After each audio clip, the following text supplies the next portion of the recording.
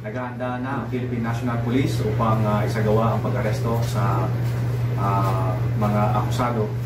At ah, uh, tabayan na lamang natin ang ah, ah, kopya na manggagaling sa korte no sa Metropolitan Trial Court Branch 40 ng ah, Quezon City.